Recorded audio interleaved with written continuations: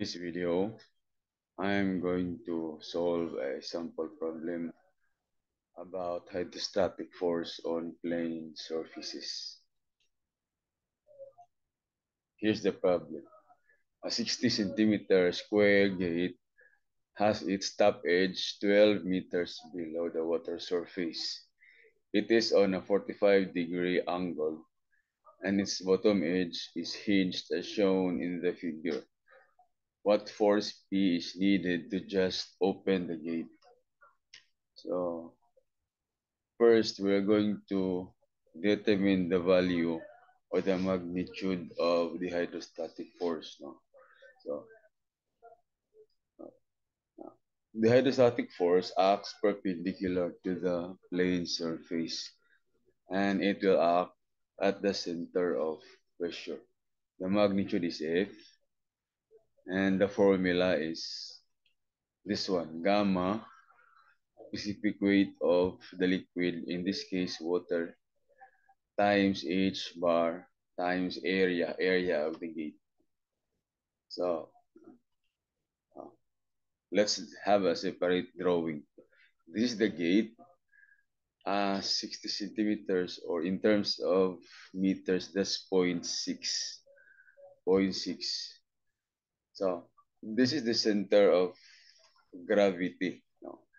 And h bar is the vertical distance of the center of gravity from the free liquid surface. That's h bar. So first let us determine this vertical distance. This one. And since the height of the gate is 0.6 meters, then this distance is 0.6 sine of 45. And the value is 0.424. Therefore, h bar is equal to 12 plus 1 half of this. Okay, 1 half.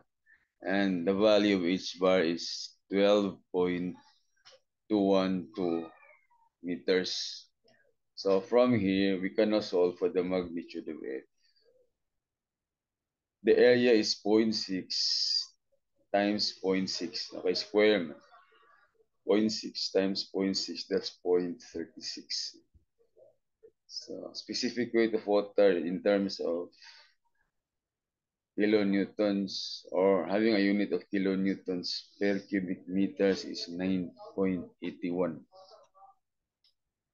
So 9.81 kilonewton per cubic meters times h bar 12.212 times area of the gate 0.6 times 0.6 0.36 meter square so meter square and meters becomes meter cube makancel sa meter cube so we'll have a unit of kilonewtons. So 9.81 times 12.212 times 0.36.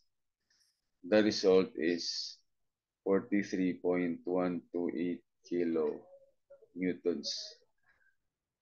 So after solving for F, the next thing is we will determine this distance because to solve for P, we are going to sum up moment about the hinge. And for P, the distance is 0.6. The perpendicular distance is 0.6. So, ang kulang is the distance of F from the hinge. Okay. Now, again, F is acting at the center of pressure. Here is the center of pressure. And the distance between the center of gravity and the center of pressure is denoted as E. Uh, it's called eccentricity. And the formula of E is Ig, centroidal moment of inertia over A times Y bar. For Ig, uh, we can use the formula sa rectangle, which is 1 over 12 bh cubed. So there's no problem with I sub G area, it's simply 0.36. Now, y bar is the inclined distance of the center of gravity to the free liquid surface measured along this uh, this distance uh, along this line sorry along this line. So y bar is from center of gravity to the free liquid surface. Okay this is y bar and from trigonometry. This is the angle 45 and h bar being the opposite side. What is unknown is the hypotenuse. So we use sine function. Sine 45 is h bar over y bar. So solving for y bar it's h bar over sine of 45 so compute the value of y bar is 17.27 so next is we compute for e.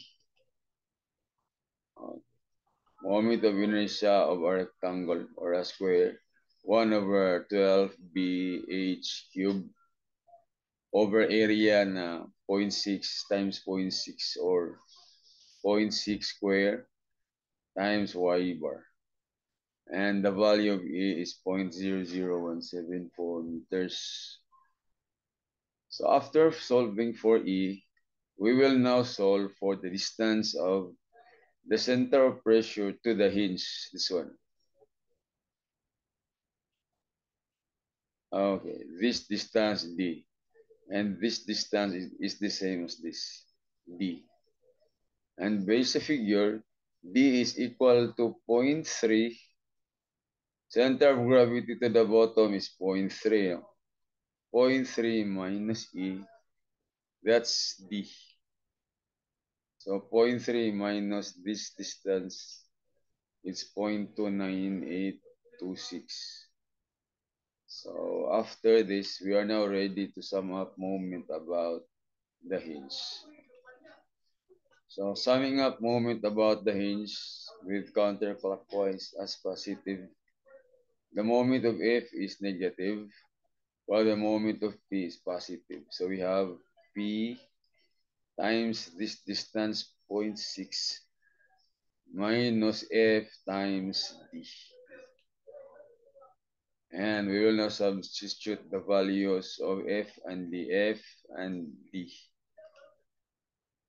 So the last step is multiply these two quantities and then transpose to the right side. And then you divide the value by 0.6. And the magnitude of P is equal to 21.439 kilonewtons. Okay. So that's it. I hope that you have learned something from this video. Thank you for watching.